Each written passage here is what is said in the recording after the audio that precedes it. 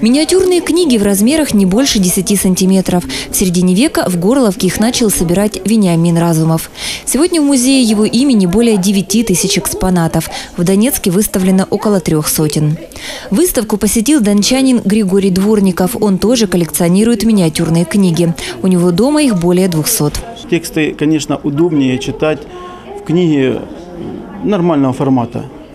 А эти книги, сколько в них вложено души издателя, шрифт надо подобрать такой мелкий, и нарисовать к ним рисуночки, и чтобы это было красиво, это дорогого стоит. И Выставки, которыми обмениваются музеи друг с другом, позволяют людям, которые не были в других городах, не, не могут увидеть экспозицию или поехать не могут по каким-то другим причинам, они позволяют познакомиться с музеями, не только вот с нашим Донецким музеем, но и с другими. А эту книгу можно читать только под микроскопом. На семи человеческих волосах написано по одной пословице. В болоте тихо, да жить там лихо. На языке медок, да на, а на душе ледок.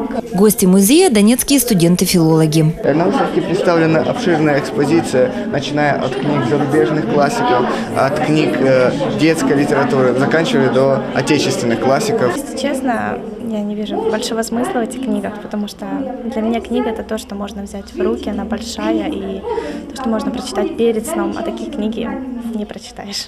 Антонина Клименкова работает в музее Разумова. Говорит, если посетители приходят повторно, то почти всегда с подарком. Наш музей пополняется это за счет подарков. А, Подарки поступают к нам из разных стран. Конечно же, очень большой вклад делают наши горловчане.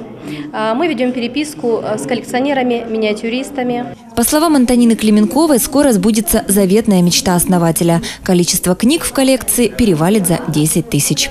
Аделя Мулюкова, Арсений Александров, Кирилл Иванов, Панорама.